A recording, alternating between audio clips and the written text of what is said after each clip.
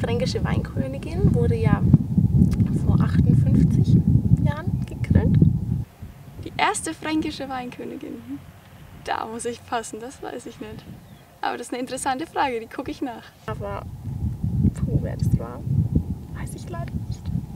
Keine Ahnung.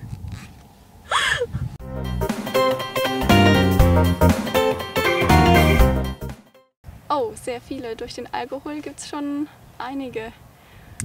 Wein, vielleicht so 130 pro Glas. So um die 400, 500.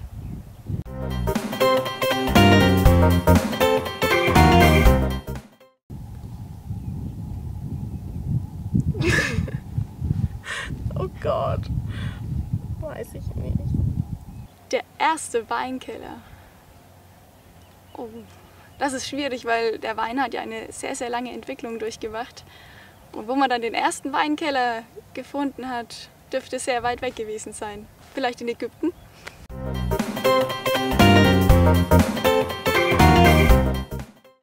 Ein erstes Glas Wein. Oh, das dürfte ich eigentlich gar nicht sagen. eigentlich erst so kurz bevor ich ähm, Weinprinzessin geworden bin, weil ja für mich, also mich hat Wein davor halt eigentlich noch nicht so wirklich interessiert, weil ich wollte halt damals als Kind, als ich immer mit im Weinberg war, ich wollte da halt einfach nicht rein, weil ich musste da meine Ferien halt immer dafür opfern. Meine Mutter hat ja einen Betrieb zu Hause und da war ich schon immer, auch als kleines Kind, bei den Weinproben der Kunden dabei. Und auch so, wenn dann die Kunden weg waren und das Glas meiner Mutter stand noch da, dann ist man ja doch geneigt, auch als Kind, so mit zehn Jahren, auch mal zu probieren.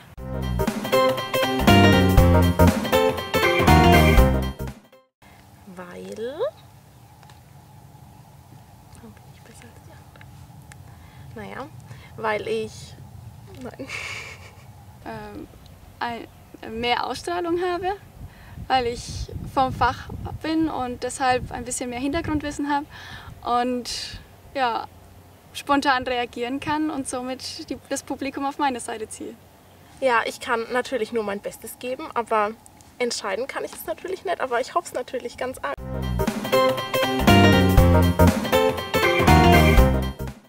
Wenn ich den Titel nicht hole, dann geht es für mich wieder in die Pfalz und ich studiere weiter, mache mein Semester zu Ende und dann geht es ins Auslandssemester und ich schaue mir dort dann andere Weinberge, andere Regionen an und lerne andere Menschen kennen.